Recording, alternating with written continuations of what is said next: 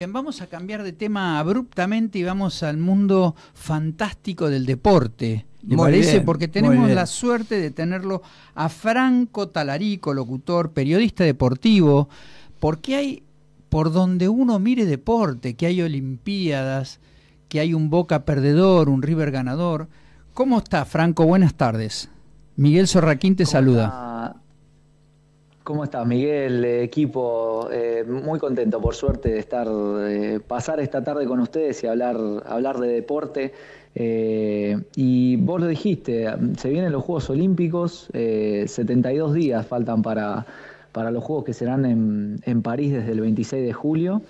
Y mm, tengo algunos datos de mm, como para empezar a vivir, ¿no? Un poquito, un poquito los juegos, qué atletas están clasificados, quiénes, eh, quiénes son esas promesas que tal vez nos traen alguna medalla para aquí, para Argentina. ¿Ustedes son de, de- de ver los juegos? ¿Viste que es, es A mí, muy sí. a mí me divierte verlos y, y- y- y me sorprendo a mí mismo porque estoy poco informado y realmente no tengo mucha idea quiénes son aquellos argentinos que tengan chances, ¿no? Me imagino que sí, los del Rugby 7, por ejemplo, o alguna cosa así, pero así deportistas individuales, mm, no sé. Yo creo que las Olimpiadas son eh, los juegos muy, muy maravillosos, porque antes eran amateurs, hoy si bien son profesionales, es, eh, es un, un lugar donde los atletas, sobre todo el atletismo, si bien hay otras, otras este, Disciplinas. disciplinas, pero eh, es la, el, el juego, poder, me imagino la emoción cuando uno gana una carrera y está en el podio y se canta el himno y se iza la bandera argentina. Eh, no creo que Eh, haya otra cosa más emocionante para el atleta que eso, ¿no? Es algo muy lindo y se mantiene como, co- como dicen esa esencia, ¿no? Porque, porque está eso de que también lo tiene mucho el deportista argentino de, de nada, sacrificarse, no solo, no solo es practicar el deporte, sino que algunos eh, tienen un trabajo a la par, entonces es ir a trabajar, volver, entrenar, practicar. Entonces es, es una combinación que, que también es ese factor de que, que- que tiene el argentino de un esfuercito más, como no sé, Paula Pareto en su momento, cuando ganó la medalla dorada en Río 2016, ella eh, estaba terminando su carrera de médica y luego se recibió y hacía las prácticas, entrenaba doble turno y terminó trayendo una medalla increíble eh, en la categoría de judo. Entonces siempre está ese plus ¿no? del deportista argentino y esa esencia amateur que en algunos aspectos se mantiene. Sí, pero Eh, a eso ver. también tendría que Sí. estar modificado, porque yo creo que el No, atleta argentino, el problema que tiene, no tiene apoyo, no tiene apoyo de un sponsor o del gobierno,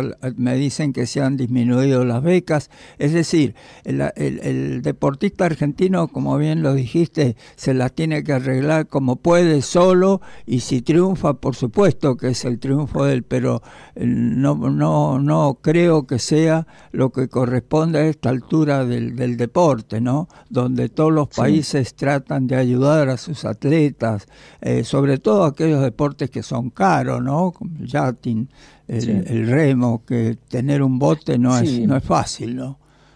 Coincido, coincido eh, que no debería pasar esto de que los, los deportistas argentinos tengan que sacar es- este plus. Debería ser todo eh, un poco eh, me- mejor para que ellos tengan una base y solo se preocupen por entrenar y practicar el deporte. Mire, A ver, hablando eh, un poco de, de- los eh, deportistas clasificados, eh, ya son 104 los argentinos que van a estar en París y pueden ser más. mayo y junio se caracterizan por ser dos meses con muchos preolímpicos clasificatorios para París 2024. Eh, y si tenemos que apostar un poco de, bueno, quiénes van a ser esos equipos que pueden traernos una medalla o que siempre están en la primera plana ¿no? de los argentinos. Eh, no podemos dejar de nombrar a los leones y las leonas, eh, que la selección masculina y femenina de hockey, que siempre eh, están entre los primeros puestos, mismo están en el top 10 a nivel mundial entre, entre las selecciones de hockey. Eh, vienen eh, de, tener un gran panamericano, eh, obviamente justamente a nivel panamericano en Santiago de Chile, fueron campeones y allí consiguieron su boleto para, para los Juegos Olímpicos, pero van a ser algunas de las selecciones que habría que prestarles un poco más de atención y, que pueden pelear por una medalla en París. Las Leonas tienen un karma en los últimos Juegos que nunca pudieron ganar las medallas doradas, siempre pelean, son las número dos del mundo. pero tienen esa espina que Países Bajos, ex Holanda podríamos llamar, eh, tiene, siempre termina ganando la medalla dorada y las Leonas eh, relegadas al segundo puesto. Eh, si me preguntan, el segundo puesto me parece algo espectacular para la selección argentina de hockey femenina, pero ojalá que en algún momento puedan conseguir esa ese deseo que tiene tanto el plantel y que tantos años se le fue negado, que es eh, la medalla dorada. Eh, por su parte los Leones, ellos ganaron la medalla dorada en Río 2016, no tuvieron un gran juego olímpico en Tokio en 2021, pero eh, vienen bien, vienen con, mucha jerarquía, ganando partidos, haciendo buenos torneos como, como la Pro League, y bueno, y ellos justamente, Leones y Leonas, a partir de la semana que viene, del 22 de mayo, van a estar disputando la última serie de, la, de Pro League, que es eh, uno de los torneos más importantes de hockey a, nivel mundial. Y allí esto les sirve no solamente por el torneo en sí, porque el torneo es importante y te clasifica al próximo mundial, sino también para medirse con rivales a dos meses de los Juegos, medirse con rivales eh, del top 10. Entonces, esto les sirve para ver, che, ¿dónde estamos parados? Así que Leonas y Leones van a estar jugando la semana que viene. ¿Ustedes qué, qué, mm, qué deportes suelen ver? ¿Qué deportes les gustan? Mira, yo te quería preguntar eh, sobre boxeo. Eh, ¿Llevamos boxeadores o no han logrado clasificarse? Por ahora no hay clasificados en boxeo. Hubo eh, eh, en junio, a partir del 15 de junio, se va a disputar el último preolímpico de boxeo. Eh, a ver, se disputaron dos, dos preolímpicos, uno que se realizó en Brasil, otro que se realizó en Japón, y los argentinos por ahora no pudieron conseguir Porque su lugar. eso ha sido, ha sido tradición que hemos traído medallas en la Olimpiada de Londres, el 45 este, tuvimos la... Y ahora nomás, eh, ¿te acordás? Un, montón de, eh, nuestros principales boxeadores trajeron medallas de oro, es decir, e, ese es un deporte en donde siempre también tuvimos este, algunos algunos buenos eh, clasificados.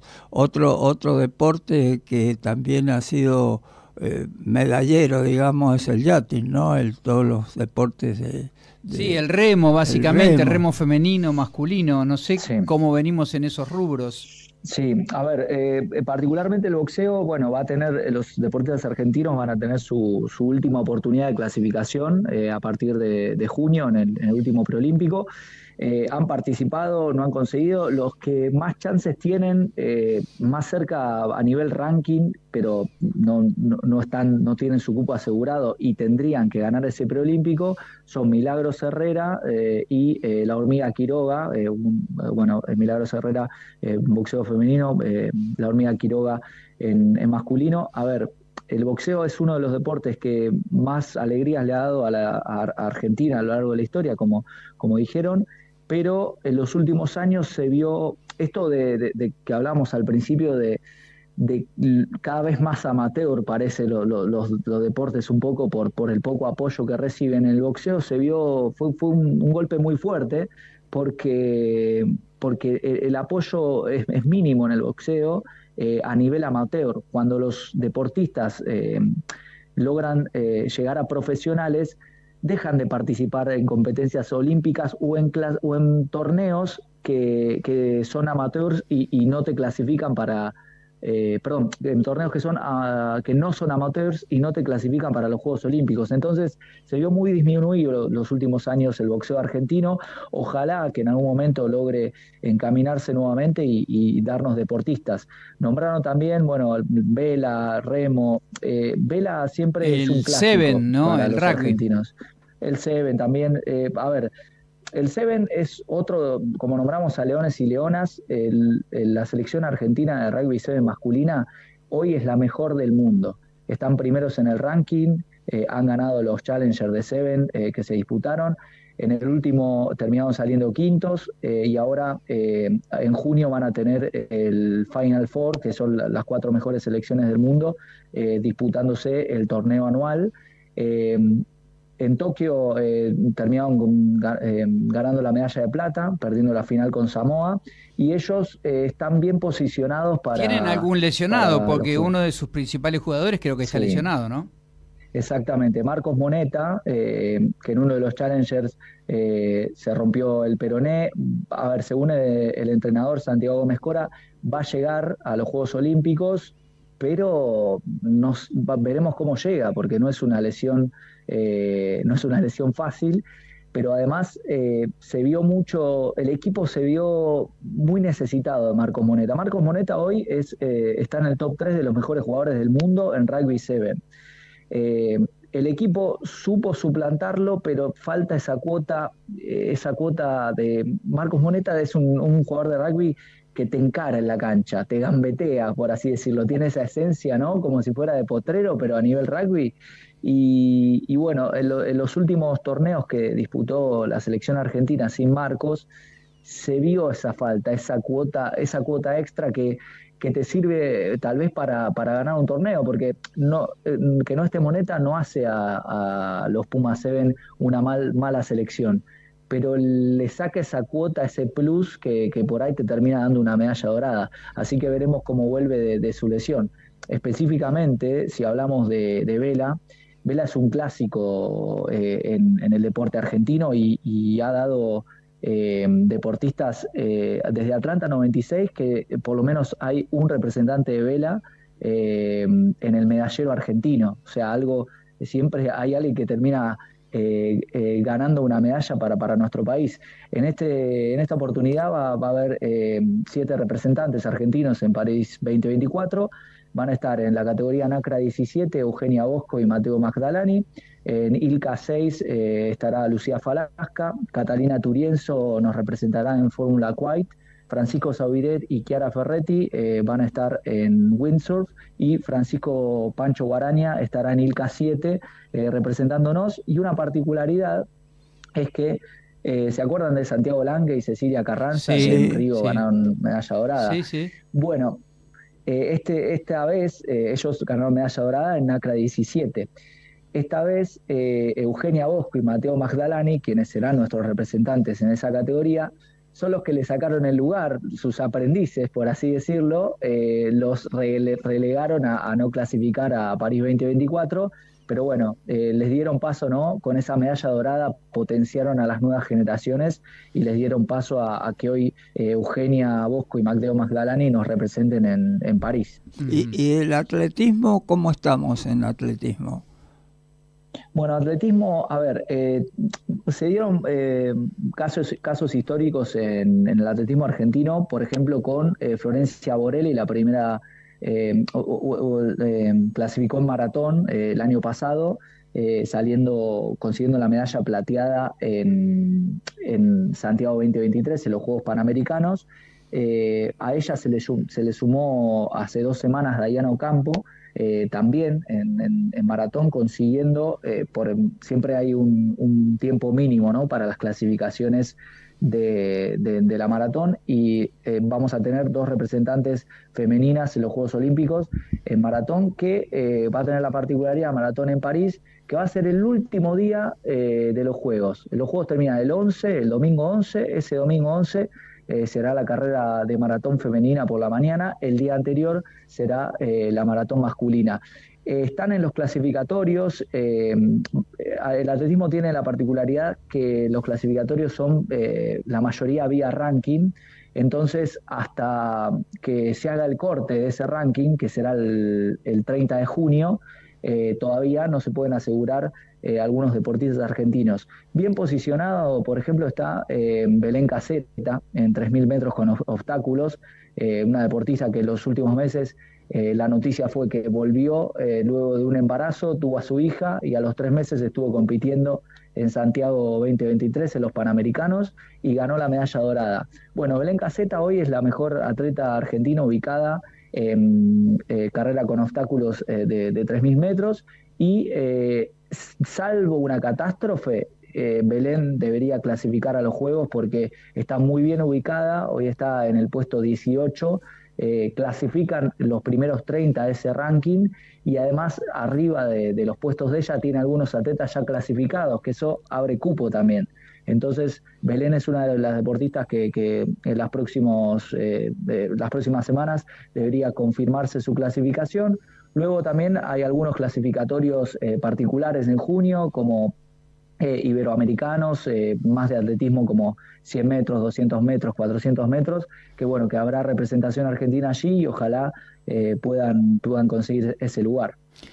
Y en salto a caballo, ¿cómo venimos? sí, a ver, salto a caballo tiene su lugar asegurado, todavía no, todavía es una, un cupo para eh, la selección, eh, para la, selección de equitación, eh, que lo ganó José María Larroca, ese cupo en, los Juegos Panamericanos 2023.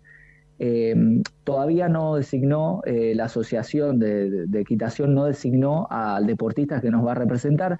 Generalmente, salvo, salvo que el deportista mismo no quiera o que esté muy mal ubicado en ranking, que no suele pasar, suele ir ese deportista que ganó el cupo, en este caso sería José María Larroca, pero todavía no está definido, eso se define también el mes que viene, eh, pero tenemos un cupo asegurado por, lo menos en salto a caballo individual. Eh, que bueno que, lo ganó José eh, el año pasado. Y en prueba completa entiendo que hay también un lugar que falta, que el chileno es el que tendría que clasificarse, pero hasta ahora no lo ha podido hacer. Así que si no lo hace próximamente, tiene oportunidad algún argentino también, ¿no? De, clasificarse. Exactamente, como dijiste, eh, Chile todavía no pudo clasificar, es el que mejor está eh, ubicado eh, la prueba completa. Eh, si Chile no clasifica, eh, por ranking, los, los segundos ubicados es, la selección argentina de equitación, así que también es como que en los últimos meses pasa mucho de esto de comenzar a hacer cálculos, ¿no? Sacar la calculadora, ver, ver los rankings y, ver qué deportista puede clasificar y qué no, porque, por ejemplo, eh, a principios de junio tenemos eh, competencia de equitación. Si el chileno termina ganando la competencia, se le abre el cupo a Argentina, porque el chileno va por la clasificación de la competencia, exacto, y la Argentina termina yendo por ranking. Entonces también es o que le vaya muy mal o que le vaya bien y me abre el cupo a mí, ¿no? Eh, así que sí, en equitaciones ese es el panorama también. Claro, eso está relacionado con cambiando de deporte, de situación lo que le podría pasar a Boca en el caso de que River salga campeón. Le habilita un cupo para que entre, tenga la chance de entrar o no. Exacto, a este super mundial de clubes, ¿no? Exactamente. ayer River que ayer River con esta victoria termina clasificando. Ayer se eh, clasificaron estos suertudos. Este, acá, pero bueno, vamos acá hay muchos chicos tristes. Vamos a tratar de, no hacer caso a estos triunfos espontáneos y, de suerte. E inexistentes para otros hace mucho Te tiempo. Te quería hacer una pregunta. ¿Vos, ¿Vos considerás que en estas Olimpiadas se podrá bajar los nueve segundos en los 100 metros? Uf, eh, para mí no, no. Eh, los nueve segundos, eh, lo, que, mm, a ver, e, esta hazaña que hizo Bolt, que no bajó los nueve segundos, sino que rompió el récord con 9.69, ¿no? Creo que es, están destinados a, a esos deportistas tocados con la varita, no sé, llámese Usain Bolt, llámese Michael Phelps. no, no, no, veo ningún deportista en los 100 metros que hoy aunque, aunque son muy buenos, no veo a ninguno que pueda bajar los nueve segundos. No, por, ahora no lo veo.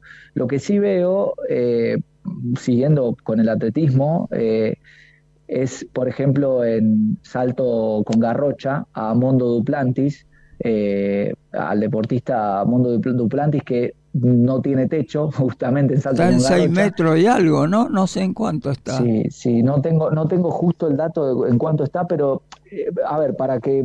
¿Se acuerdan de Isimbayeva? La, la, la, garrochista Isimbayeva. Yo, bueno, yo me sentaba con mi familia a ver a Isimbayeva, a ver cómo ella sola rompía sus propios récords. Bueno, con Mondo Duplantis es un poco lo mismo. Eh, él eh, eh, en su primer salto le gana a todos los demás, hace un salto que los demás no pueden alcanzar en toda la competencia. Y luego los saltos que le quedan, eh, sigue superando y superando y superando su récord. Eh, entonces creo que ahí, por lo menos el atletismo es un lindo espectáculo para ver, para ver a un tipo, como dije, tocado con la varita, como lo fueron Bolt, como lo fueron Michael Phelps en natación, Bondo Duplantis es uno de esos deportistas particulares y, que te, da alegría ver ¿no? en un juego olímpico. Buenísimo. Bueno, Franco, la verdad, re completo. Te vamos a volver a llamar a medida que nos vamos acercando y esto se vaya poniendo cada vez más caliente para ver los resultados y demás. Y te agradecemos muchísimo que hayas participado. Este, yo lo que te quería decir con respecto a las Olimpiadas, nosotros tenemos un ejemplo de un profesional como Ginóbili que le tocó llevar la bandera llorando, es decir, cuando desfiló en, las Olimpiadas como abanderado, lloró, es decir, un tipo que tenía todo el éxito en el básquet profesional del país más competitivo, sin embargo emocionado. Eso es, eh, creo que son las Olimpiadas, ¿no? Es, muy lindo. Y bueno, si quieren, para la próxima que salga, les dejo tarea, a ver qué les parece. Muy bien. Díganme qué deportista, qué deportista eh, argentino tiene que llevar la bandera eh, en los Juegos Olímpicos de París, que eso va a ser también un tema de los próximos meses. Uy, Dios santo, qué difícil eso. Y bueno, yo me gustaría, por ejemplo, que lo lleve alguno del Seven, como Isgro, ponele. Ah, por ejemplo. Uy, qué, gran jugador. gran, jugador. Piénselo, piénselo. Lo vamos a pensar, lo vamos a pensar. Y, o cuando salga y lo, lo, charlamos y, vemos qué deportista. Tenemos mucho, por suerte tenemos mucho y muy buenos y que sienten mucho eh, la camiseta argentina, así que tenemos, tenemos opciones para elegir. Buenísimo, Franco, un abrazo enorme. Muchas gracias. ¿eh? Abrazo enorme.